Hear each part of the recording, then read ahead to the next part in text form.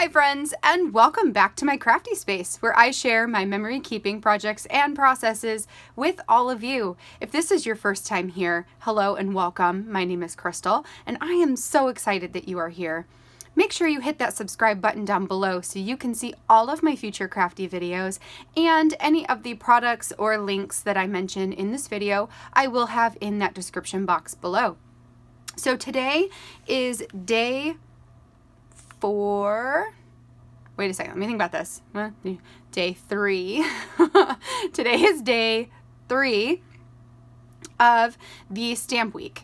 Um, and the reason I'm confused about that is because I'm doing some of these videos a little out of order from the prompts or the themes that Ali has picked. It's just because of how I wanted to use the stamps themselves that some things needed to be done first before I could do the rest. Anyway, Today is day three of Stamp Week, and the theme for today is numbers. So you can see that I've got this huge number set right here that I plan to use um, on this project. Now, what I am working on this week is a project using the Watch Story stamp along with a couple of other stamp sets that I have.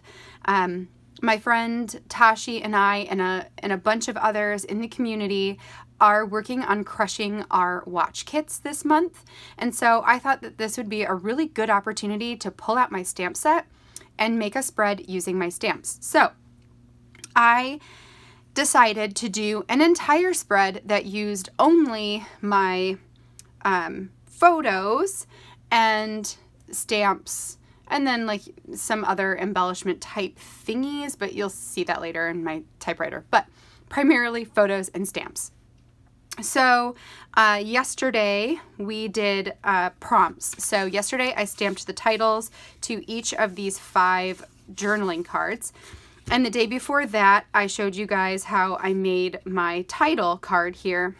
Tomorrow, the prompt will be backgrounds, so you will see some of the background stamping that I did um, prior to putting on my title. So um, yeah, so today is numbers. I'm going to be the, using this stamp set to throw numbers on these stories because I am telling five stories. So today's going to be super easy. It is literally just taking a stamp and throwing it on here.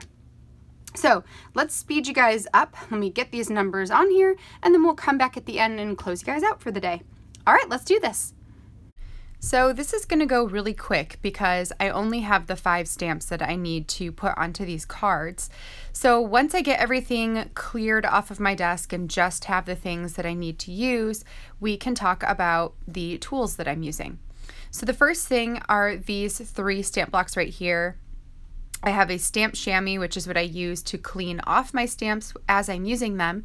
And then I'm going to be using these two colors, so a light pink and a light teal. Those are both from scrapbook.com and they are a hybrid ink. So they are part dye, part pigment. There's something in between. So, oh, and I chose lighter colors because when I put them onto the journaling card, I'm actually going to add my journaling with my typewriter on top of those cards. So I want to be able to see it uh, and not have the number take away from the actual story.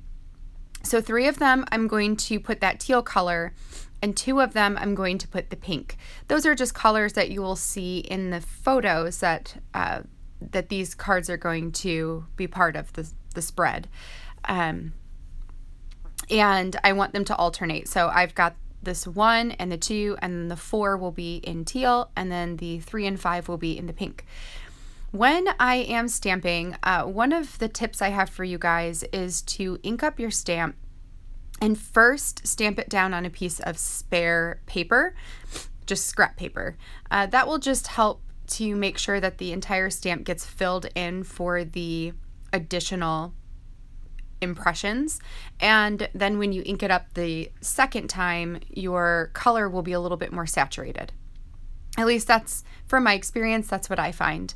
So I typically will do that. I will stamp it on a spare piece of paper first, and then I will put it where I want it to go. So that is all five of them, all completed. So the next thing I'm going to do is take them over to my typewriter to add the journaling right on top, and then I'll show you the final product. All right, so that finishes up this technique for today or this theme. So I really like how this turned out. So you can see I've got my numbers on each of these cards and I chose that really light ink color so that my journaling would actually show up on top. So these are my five little stories and um, that is it for today. So make sure you come back by tomorrow. Tomorrow we're working with backgrounds and patterns. I'll show you how I made the background for this card right here, which let's see if you can see that. Um, and I also did a couple other ones because I wasn't sure which one I wanted to go with. So you'll see me create a couple of backgrounds tomorrow. Um, and then there'll just be one more day after that, and then this project will be done. I hope you guys enjoyed this video. I know it was super simple, but uh, you know, sometimes it doesn't have to be complicated, right? It's okay to have simple, simple techniques and simple pages. All right, so that is it for today. So until next time, I hope you guys have a fabulous day and I will catch you in the next video. Bye now.